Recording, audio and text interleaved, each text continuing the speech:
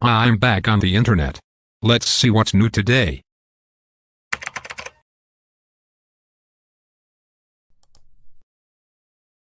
Hum Samsung Sam. Those are nice pixels and polygons I guess. But wait.